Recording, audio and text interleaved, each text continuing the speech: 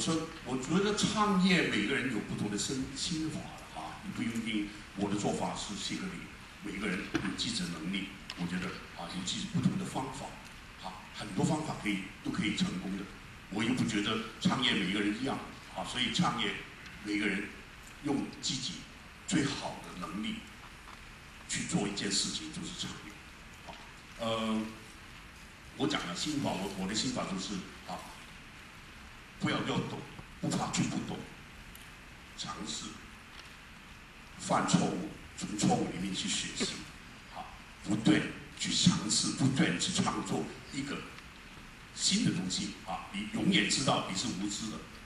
所有创业都是从无知里面创作出来的，所以你不，你要永远要有呃谦卑，啊，就是不能够说啊，我是点石点石点石成金是吧？啊，很厉害。你我我曾经有这个经验了，我唱过那个 M 啊，我亏了四十亿港呃呃呃台币啊，哈哈。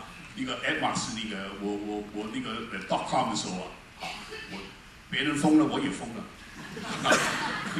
我觉得啊 啊我可以做啊，所以我我也亏，啊不一定不一定成功的，所以你啊很多人说我生出来是创业，我不是生出来是创业，我我亏得很惨啊，那是十亿港币啊，亏了我，好，所以创业不同的方法也可以，好，但是你真的是不是真的要创业？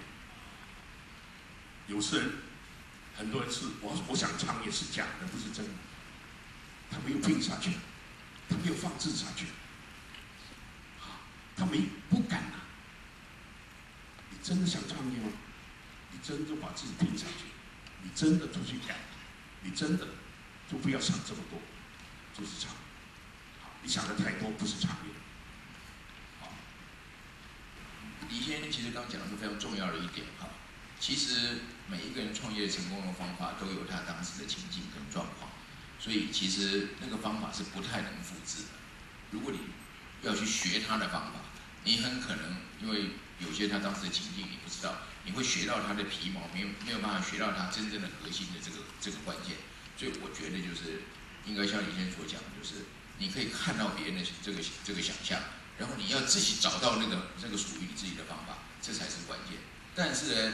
有些创业基本原则是一定要的，比如说你不能不能不能三心二意，不能脚踏两条船，不能呃决心不够，这个耐心不够，那这个是基本这个要素一定要有。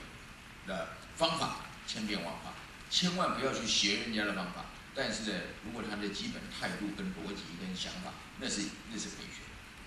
那这样呢。